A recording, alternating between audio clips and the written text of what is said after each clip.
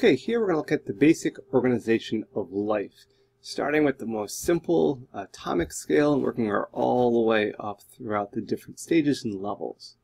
So starting at the atom level, uh, that's considered the most uh, basic organization. Those atoms kind of come together to form molecules. In this case, we have oxygen alone forming the molecule uh, dioxide or oxygen here found in the air. Oxygen and other molecules can combine to form macromolecules, which we're going to spend an entire unit on macromolecules. These macromolecules, such as a phospholipid, this would be a phospholipid bilayer, and that's a component of the cell. So here we have the cell, which is, again, composed of atoms which form together to make molecules, which make macromolecules or big molecules. Those then come together to make cells. From cells, though, we continue on to tissues. So a com combined organization of cells from tissues those tissues can then combine to form an organ, such as the lung. We then have an organ system, such as the respiratory system here. And those organ systems can then make an organism, such as the lion here. It has respiratory, digestive, um, reproductive system, and many more that come together to make the organism.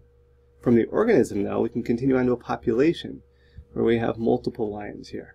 From a population, we go to a community, we have lions and zebras, and from a community, we build onto an ecosystem.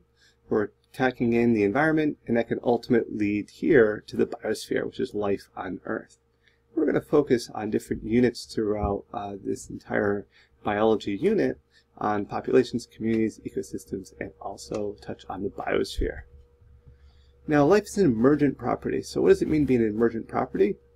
Well, emergent properties are basically the consequence of structural organization that is the hallmark of life. They are characterized by many aspects of the living world, and each higher level of organization contains novel properties not present in simple, simpler level of organization.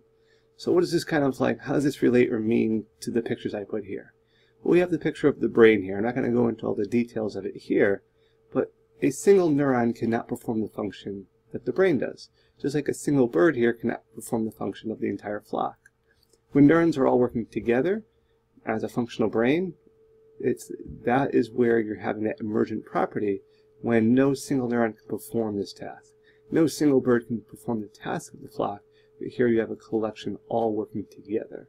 This is an example of an emergent property that gets back to the organization of life.